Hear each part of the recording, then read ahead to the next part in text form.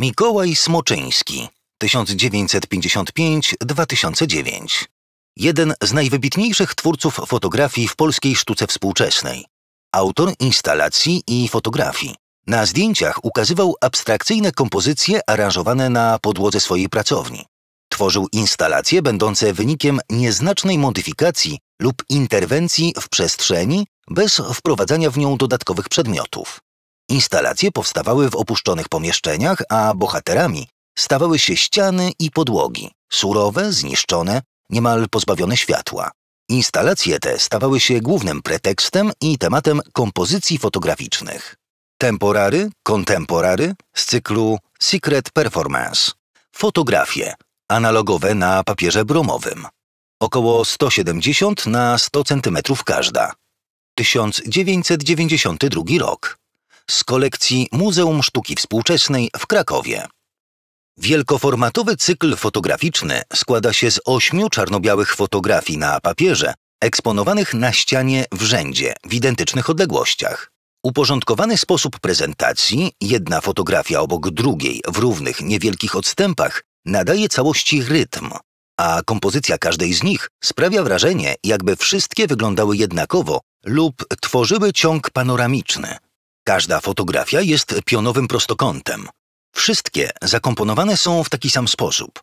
Większą część, a więc około dwóch trzecich powierzchni fotografii, licząc od góry, zajmuje czarna, równomiernie gładka powierzchnia, z której na wysokości jednej trzeciej od dolnej krawędzi wyłania się surowa, popękana, chropowata struktura, przypominająca księżycowy krajobraz. Spękania, załamania, wgłębienia, wypukłości w niezaplanowanym, chaotycznym układzie tworzą formy podobne do kraterów.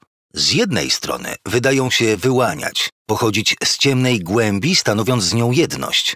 Z drugiej strony wyraźnie z nią kontrastują. Tajemnicza i niedostępna, a zarazem pochłaniająca głębia niemal aksamitnego tła zestawiona jest z namacalnością pierwszego planu, ostrą, niepokojącą fakturą. Mimo pozornego podobieństwa wszystkich fotografii można dostrzec różnice pomiędzy nimi. Jest to efekt zamierzony przez artystę, ale ostatecznie jego forma jest nieprzewidywalna, ponieważ powstaje w sposób niekontrolowany. Kompozycje te są bowiem formą eksperymentu fotograficznego, opartego na przypadkowości. Artysta pokrywał podłogę swojej pracowni warstwami kleju stolarskiego, który wysychając kurczył się i pękał, odkształcał, wyginał, tworząc przedziwne formy, przypominające kosmiczne krajobrazy pełne kraterów, szczelin i deformacji. Następnie wybrane fragmenty fotografował, zachowując taką samą kompozycję każdego ujęcia, dokumentując jedynie niekontrolowane zmiany, jakie zachodziły w obrębie podłogi. Papier fotograficzny w procesie wywoływania pozytywu dodatkowo doświetlał latarką. Dzięki temu zabiegowi powstała czarna głębia tła.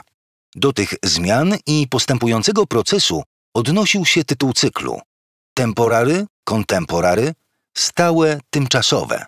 Sposób zapisu tytułu w oryginalnej wersji językowej, język angielski, w doskonały sposób oddaje zależność zachodzących procesów, które zostają utrwalone przy pomocy fotografii.